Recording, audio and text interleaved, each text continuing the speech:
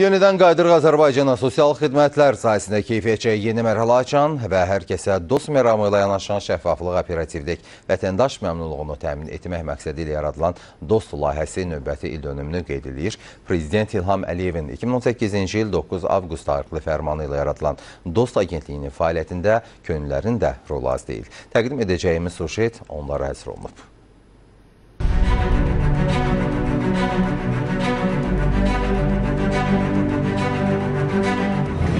Başqalarına kömək etmək və cəmiyyətə fayda vermək üçün.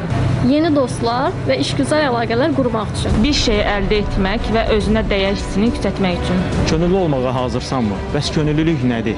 Bu fəaliyyət özündə ən çox nəyə ehtiva eləyir?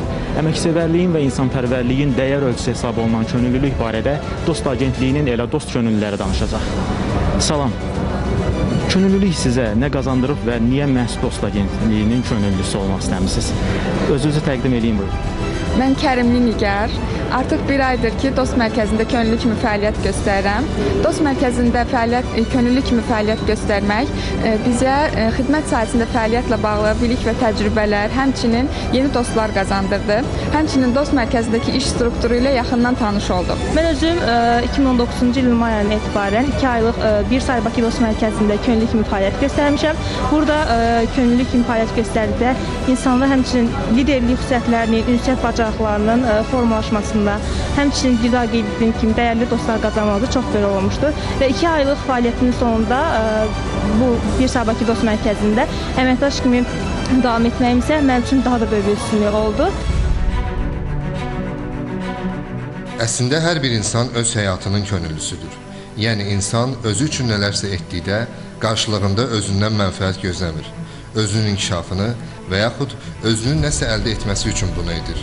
Elə ona görə də könüllülər dost mərkəzlərində dövlət sosial xidmətlərinin bir pəncərədən vətəndaş məmnunluğu prinsipi ilə təqdim edilməsi işlərinə öz töhfələrini verirlər. Könül dost proqramı özü bir neçə alt proqramdan ibarətdir. Bunların arasında Gənc Dost alt proqramı nə, nəzərinizə çatdıra bilərəm. Gənc Dost alt proqramı çərçivəsində 16-29 yaşlı gənclər könüllü fəaliyyətinə cəlb olunurlar. Onlar mərkəzlərimizdə bizim fəaliyyət göstərirlər. Bildiyiniz kimi hal-hazırda 1, 2 və 3 saylı mərkəzlər fəaliyyət göstərir və hər birində müəyyən kvota əsasında könüllülər fəaliyyət göstərir. Onların fəaliyyəti ə, əsasən vətəndaşların qarşılanması, ə, xidmət pəncərələrinə yönləndirilməsi, sorğuların keçirilməsi, ə, ə, vətəndaş haqqının tənzimlənməsində də onlar öz dəstəklərini göstərirlər. Gənc Dost proqramı üzrə çalışan könüllü gənclərlə bərabər 60-75 yaşlarında bir qrup təqaüdçüdə Gümüşü Dost proqramı əsasında könüllülər komandasında çalışır. İradə Ağalorovanı da gümüşü könüllü kimi bu layihəyə cəlb edən insanlara faydalı olmaq, həm öyrətmək, həm də öyrənmək istəyir. Birisiz elə bir yaşdayıq ki, biliyimizi ötürmək, təcrübəmizi ötürmək istəyirik. Amma öyrənmək də istəyirik axı. Çünki yenilik o qədər çoxdur ki, ölkəmizdə. Şükür inkişaf edirik. Bu inkişafın içində nələrsə yeni bizə məlum olmayan şeylər olur və biz burada onları da öyrənmiş oluruq.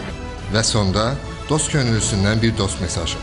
Əgər siz öz gələcəyinizi, karyeranızı yüksək səviyyədə qurmaq istəyirsinizsə, o zaman hansısa humanitar və beynəlxalq təşkilatda könüllü olaraq fəaliyyətə başlayın. Çünki gələcəkdə bu sizə çox böyük avantajdır.